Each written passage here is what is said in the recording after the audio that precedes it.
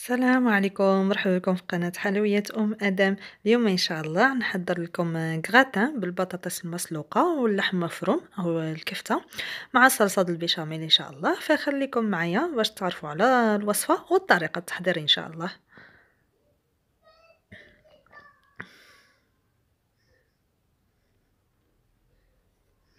فهنايا أخواتي أنا عملت البطاطس ديالي تسلق. هنا عندي تقريبا ستة الحبات متوسطين يعني على حساب الأفراد العائلة. وهنا عندي تقريبا 300 غرام د اللحم مفروم أو الكفتة.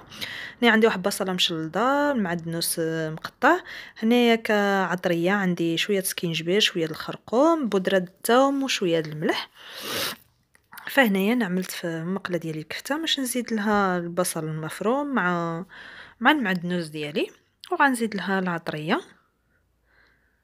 يعني تقدروا طيبوا الكفتة ديالكم أو اللحم مفروم يعني اللي كما كتعودين كطيبوه. أنا هذه هي الطريقة ديالي باش كنعمل الغدا باش نزيد له شوية د زيت د الطياب زيت يعني مخلطة مع زيت الزيتون وزيت المائدة.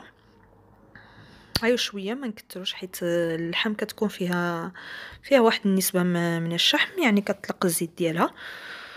صافي وكنزيد العطرية ديالي. مع باش نزيد شوية الملون أصفر يعني الزعفران باش نزيد القليل فقط. صافي وباش نخلط كلشي حتى ت... باش نستمر هيداك حتى طيب الكفتة ديالي.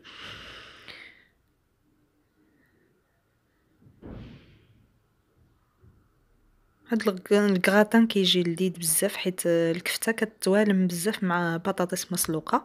كنتمنى إن شاء الله تجربوه ويعجبكم.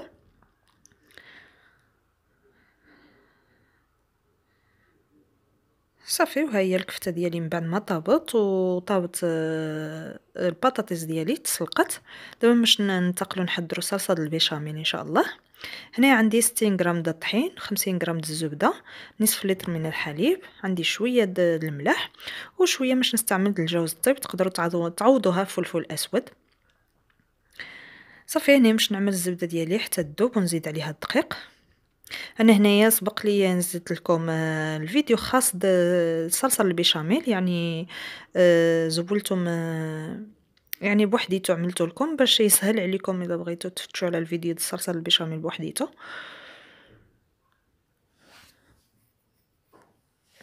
صافي هني كنضيف الطحين ديالي وكنبقى نخلط ونخلي واحد دقيقة تقريبا على ما يطهى مزيان ديك الطحين مع ديك الزبدة. وغنزيدو له الحليب.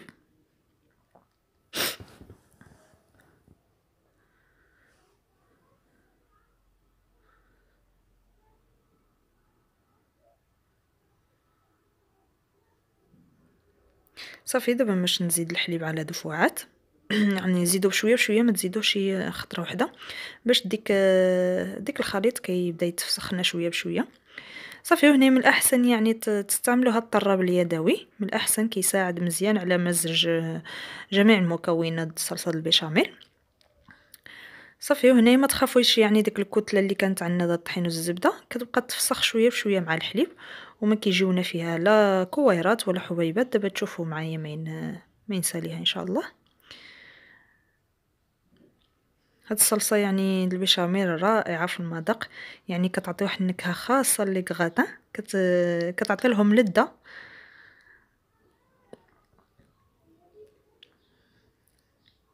وكما كتشوفوا معايا يعني ساهلة التحضير ماشي فيها شي حاجة معقدة ولا شي مكونات كتر.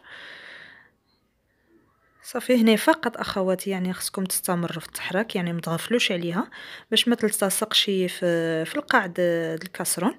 يعني بقاو كتحركوها حتى تشوفوها حتى تشوفوها عقدت عاد طفيو عليها.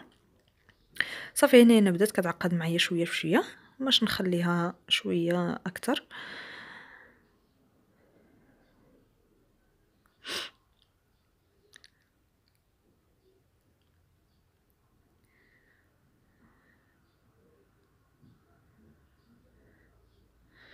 صافي وهنا أخواتي مين تشوفوها عملت هاد الفقاعات اللي مع الحاشية مع الجوانب الكسرون صافي كتكون عندنا جاهزة. كنخليوها واحد دقيقه تقريبا على ما تزيد تطهى شوية. صافي وكنطفيو لها. وكما كتشوفوا معايا يعني ما فيها لا حبيبات لا تكتلات لا حتى شي حاجة كتجي ليس. كتجي رائعة.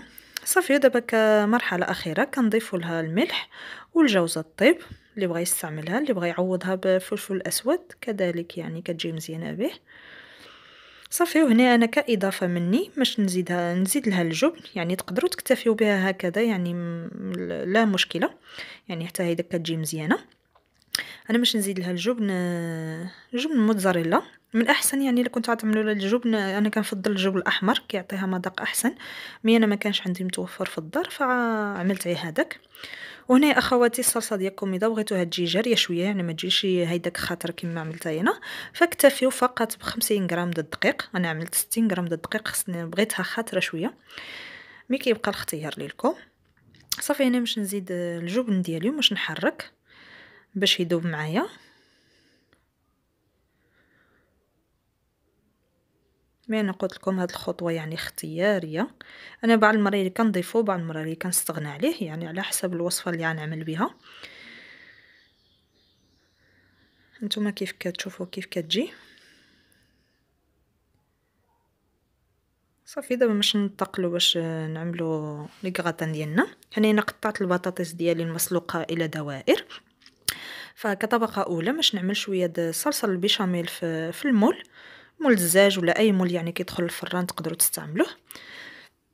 صافي باش نفرش واحد الطبقه د صلصة البيشاميل. وغنستها في البطاطس ديالي الدوائر. إذا كما كتشوفوا يعني طريقه سهله ما كياخدش يعني الوقت بزاف تقدروا توجدوه يعني في آخر ساعة يعني كيوجد دغيا. صافي هيدا باش نستمر كنستها في البطاطس. وهنا البطاطا ديالي يعني مسوسة باش نزيد لها واحد رشة ملح من الفوق. يعني غير باش نعادل ديك ديك المذاق يعني ما تجيليش مسوسة بطاطا ما ناكل كلشي مع بعضيتو. فكان يعني كنزيد لها واحد رشة د الملح من الفوق. هيدا كما كتشوفوا على حسب الذوق يعني بغيتوش تزيدوا لها ما تزيدولهاش. صافي وهنا باش نزيد اللحم المفروم ديالي اولا الكفته باش نخوي جميع الكمية.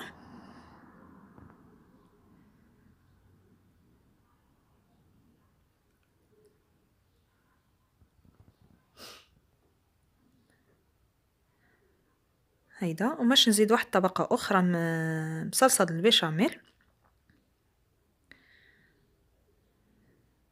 هاد الوصفة أخواتي يعني ما تصلحش للناس اللي كيعملوا الريجيم حيت غنية ب غنية بالسكريات وب يعني النشويات. يعني الناس اللي كيعملوا الريجيم ما نصحهمش يعدلوها. mais مرة مرة الإنسان يعني كياكل هادشي ماشي دايما. هيدا باش نعمل الطبقة الثانية د البطاطس وغنعمل الرشة د الملح كذلك. صافي باش نزيد صلصة البيشاميل من الفوق.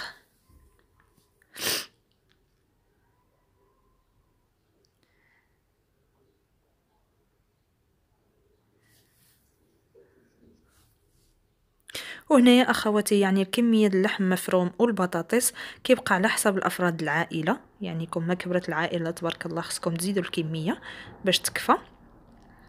إلا كانت يعني العائلة صغيرة يعني هاد البلاطو هذا يعني كافي. يعني الكمية كتبقى راجعة لكم يعني تشوفوا الأفراد العائلة ديالكم وعملوا الكمية اللي تكفى.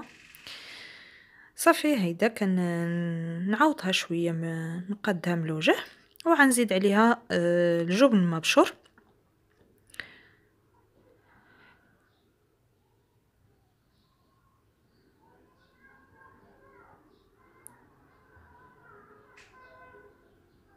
صافي. وفي هاد الأثناء أخواتي أنا عندي آه، عملت الفران كيسخن يعني كتبغي الفران سخون وصافي يعني ما محدداش واحد آه، واحد الدرجه يعني كل واحد والفران ديالو.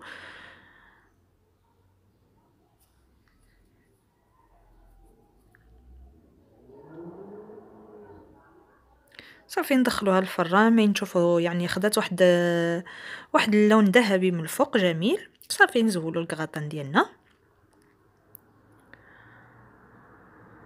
صافي وها هو واجد كما كتشوفوا كياخذ واحد اللون جميل من الفوق ذهبي كنتمنى إن شاء الله يكون عجبكم الفيديو تبارطاجيوه وتخليو لي واحد اللايك صغيرة ونتلاقاو إن شاء الله في فيديو آخر مع وصفة أخرى ومع السلامة.